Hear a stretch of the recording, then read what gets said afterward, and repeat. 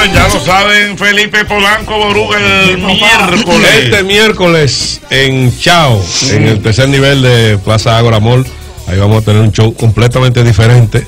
Un show dirigido al matrimonio. Sí, señor. Sí, las cosas que pasan.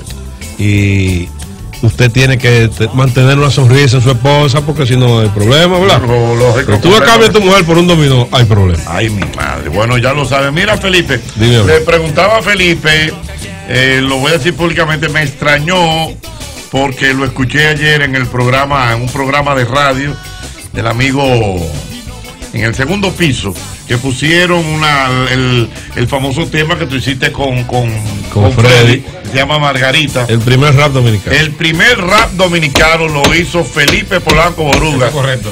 Con Freddy Veracruz. Sí, eso fue antes de ayer. poco. Eso tiene como más de 30 y 40 años. No, 1979. Mamacita. 40 exacto. 40 exacto. Entonces, eh, dijeron, a mí me extrañó, dijeron como que ese tema originalmente era de Milton Peláez. No, el tema de Freddy Veragoico. De Freddy. Completo todo de Freddy Veragoico. Y Jorge Tavera le puso la música. Correctamente. Y entonces, lo que sí es de, de, de Milton Peláez es la historia del país. La historia del país hasta el 81.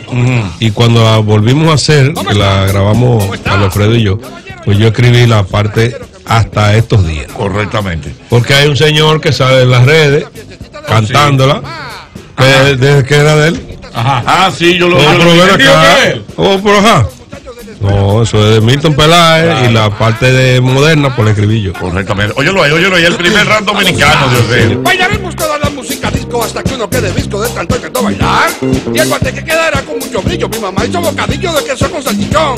Un muchacho que se enamorado de ella trajo tres media botella y cuatro litros de ron. Para las niñas que se metan en el bonche, mi mamá va a hacer un ponche de cerveza nada más. Y para que alguna vieja no discuta, le a echar cóctel de fruta, pero en poca cantidad. Y a mi vieja casi todo ya lo hizo, así que dale permiso a Margarita para allá. Si permite haya prima nochecita, yo vendré con mi hermanita para acompañarla ya. Y va a gozar, y va a gozar, y va a gozar, va a gozar.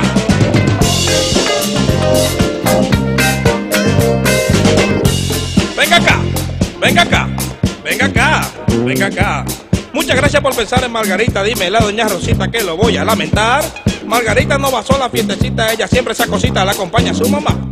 Pero dile a tu mamá que Micaela tiene muy grave a su abuela en las matas de Farfán. Y por eso Margarita y su hermanita, esa linda fiestecita segurito que no van. No señor, que no van. No señor, que no van. La pudiera acompañar su tío Vicente, pero tuvo un accidente que de Chepa se salvó.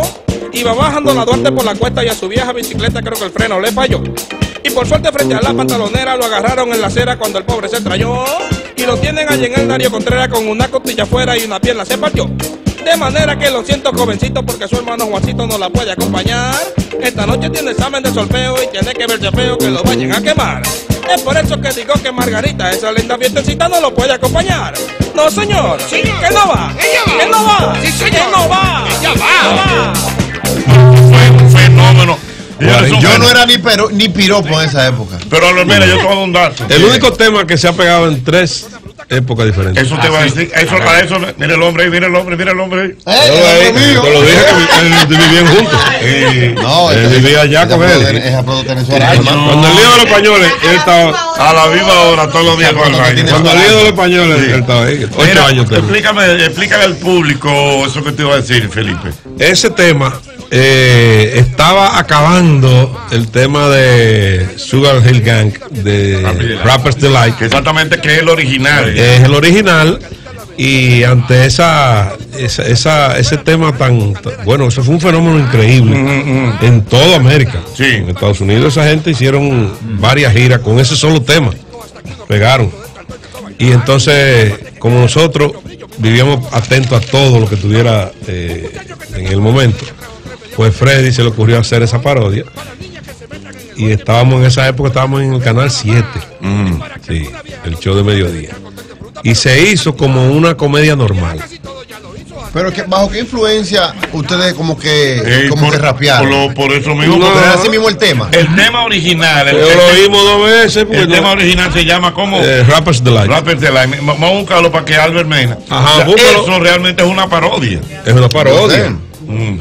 Exacto. Pero pregunto, como, como está en, en rap, más o menos, Mm. que tiene como una pista como, como con un reggaetón allá abajo. Ajá.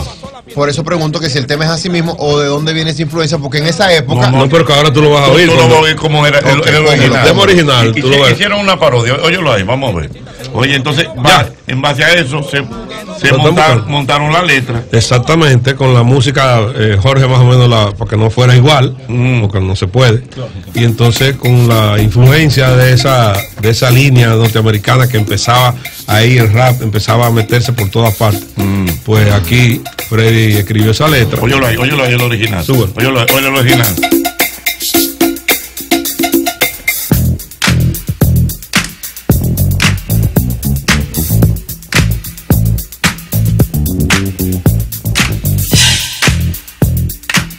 Le cambiaron el nombre de una vez, le pusieron el ACRG, como no se habla inglés. Anda para el carajo de No, nadie hablaba inglés, entonces la gente decía lo que oía.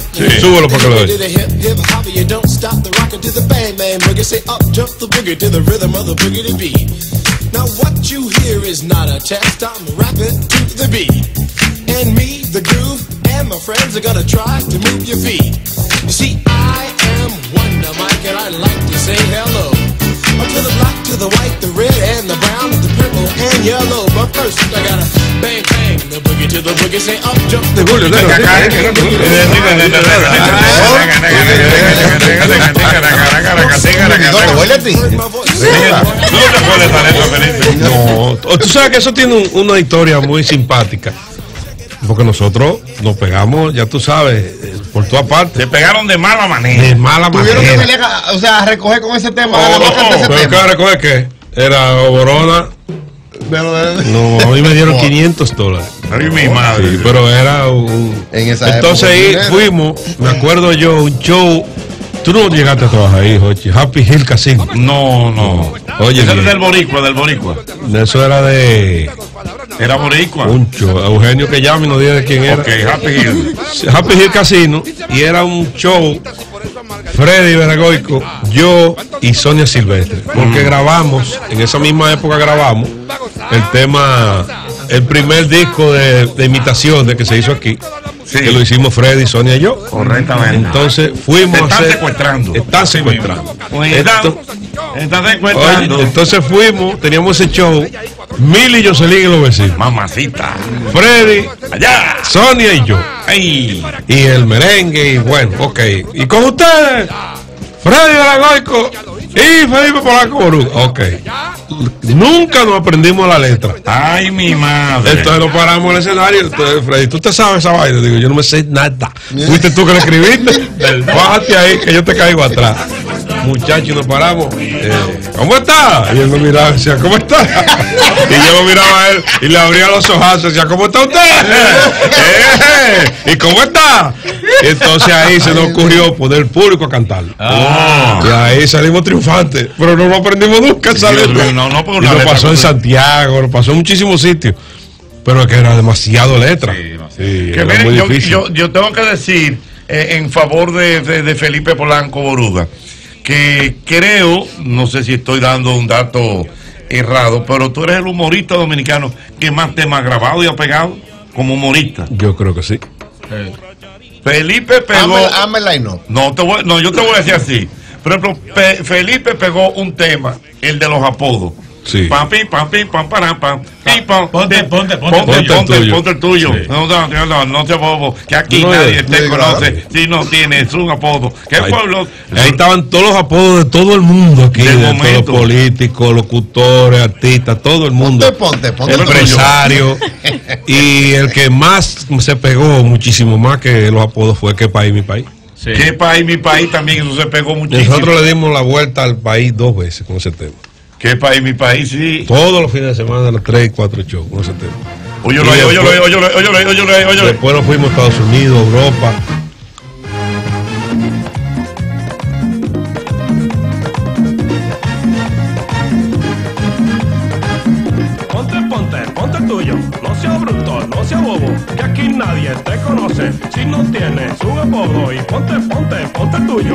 Sea bruto, no sea bobo, que aquí nadie te conoce si no tienes un apodo. Qué pueblo tan diferente, donde se conocen todos, a casi toda la gente nos llaman por un apodo. Y no, No, y solo eso Los peloteros, Los peloteros, los boceadores, no, todo, no, todo el mundo. Todavía se usa eso de los apodos. Los apodos. Todavía no, este es un país de apodo. Tu país.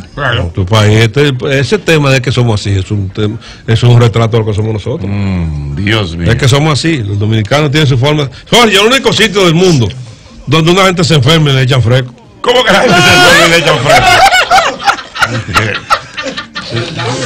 ¿Cómo que sí es verdad? Aquí la gente, malo, mareo, hay una cosa, lo que sea, y entonces con la mano, la gente, espérese. Eh, ¿pero qué es eso? ¿y ¿qué es eso, hombre? No, pero, ¿Eh?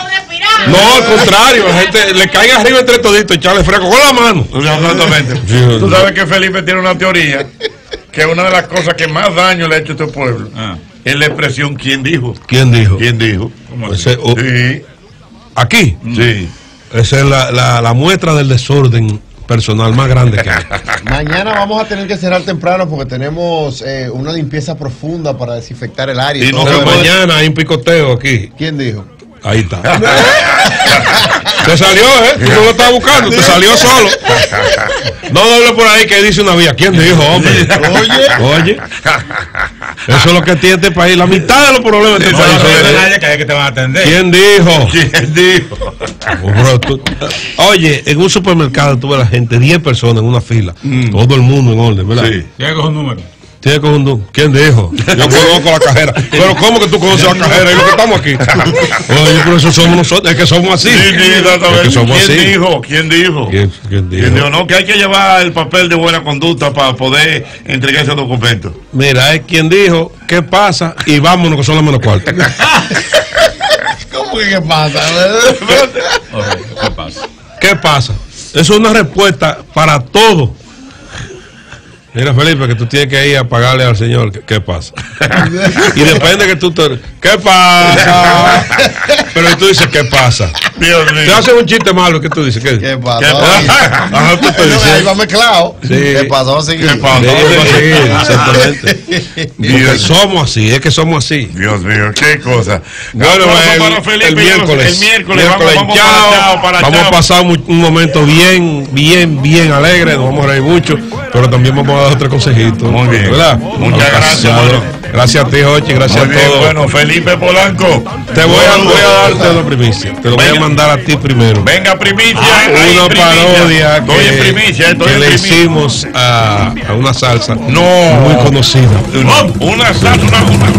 Eh. Sí, salsero bueno, de verdad. Buena.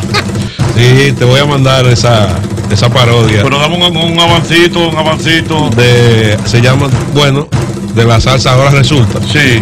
sí le hicimos una parodia política ¿Y, y cómo dice más o menos? Dime un avancito, un avancito. Tú me la mandas y yo lo voy a poner aquí en te exclusiva. pagué tu campaña para senador Ay, ay, madre, ay, te madre. quité la chancleta que tenía en los pies Ay, mi y madre. te puse ropa nueva igual de espalda tres muchachitas bien formaditas que bailaron en el medio de la patana y ahora resulta